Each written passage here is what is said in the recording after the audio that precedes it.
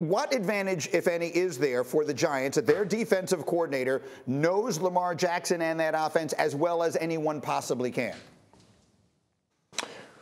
Well, you, you, have a little bit of an advantage when it comes to just the things that affect them. When you, when you can just look and go down a list of each player and say, okay, these are the things that they like, these are the things that they don't like, you could have a, a little bit of an advantage. But at the end of the day, it's all going to come down to execution and, and which team can go out there and execute at a high level and do that repeatedly. So I think I'm picking the Ravens in this particular matchup because the Giants, yes, they've done well, but have they played a team that we think is going to be a team at the end of the season that's going deep into the playoffs? The Ravens, obviously, with Lamar, I personally think they're going to be one of those teams. So it's going to, it's going to be really hard for them to stop Lamar. You don't stop Lamar. He's that explosive. So how do you limit him?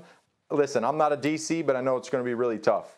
No question about it. Now, again, they did just beat the Packers last week. I know there's a lot of split opinion on just how good the Packers are. And Rodgers, while an all time great, is clearly, RC, a very different challenge than Lamar Jackson mm-hmm. presents. But I see the Giants under your name as well. Why do you like the Giants? Yeah. Well, one, I think the way that the Giants are playing offense, they're a team against the Baltimore Ravens that can find ways to score points, especially with Saquon Barkley being as explosive as he is and Brian Daboll doing the best he can to work pieces around what is an underwhelming wide receiver group. But I'm going to go to the defense. Here's what's first. When you're Wink Martindale, you spent the last years in training camp playing against Lamar Jackson, game planning against Lamar Jackson, having conversations with Greg Roman about how they want to use Lamar Jackson, how you would attack him, doing some of those self-scout scout things. Here's the other other thing. Daniel Jones just runs the ball all the time, too. We're not acting like Daniel Jones is a guy that doesn't do the zone read and doesn't utilize it. So you're also practicing against it each and every day in training camp now with the New York Giants. Is Daniel Jones what Lamar Jackson is from a talent level, from an accomplishment level, from a success level?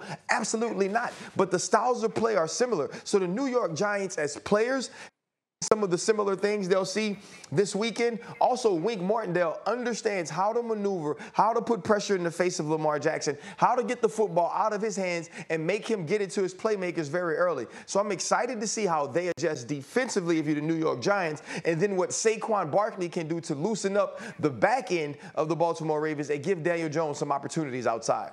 You know, Sacho, I'm not sure I've ever seen a more confused fan base. I live here in New York, of course, and as I walk around the streets, I got Giant fans walking up to me all the time saying, "Hey, are we any good?" Like they they can't make up their own minds. The Giants are four and one. I've never seen a four and one fan base as confused as the Giant fans are because they're surprised. How good is this team? This team is good. This team is good. It goes to that defense. You have to point to that defense. What Wink Martindale is doing. He's bringing a dominant, physical, attacking version of defense to New York. But it's not just that. I think the Brian Daboll effect is even the bigger reason. People are saying coach of the year, and they're right.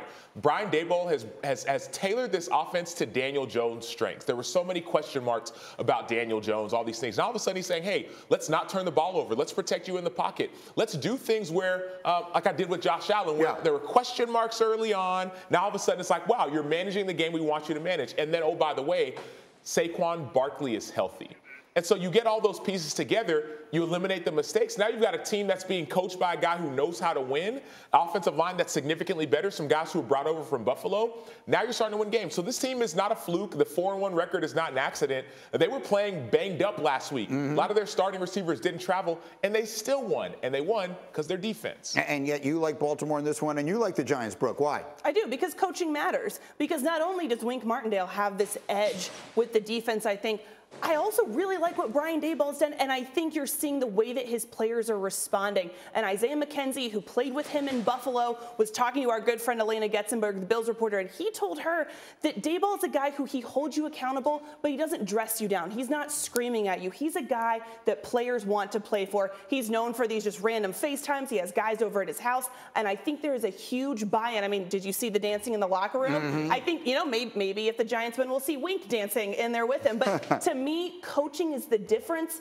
in this one. Uh, and also, to your point, I, I, do think that the Giants are a good team, but I, I also saw the Steelers go undefeated for a while in 2020, right? So it could be a little bit of a mirage. Yeah, I had a cup of tea in Buffalo. I spent a little bit of time in Buffalo towards the end of my career, and one of the few guys I connected with was Brian Daboll. You know, everyone knows the, the pregame meals night before the game. You're sitting down with your teammates and your friends and some coaches. I didn't know a lot of guys on that team. He's one of the dudes who literally sat down, asked about me, my wife, our kids, figuring out schools, all that kind of stuff. Right? Cool story. I ended up, uh, finishing, up finishing up with Tampa Bay.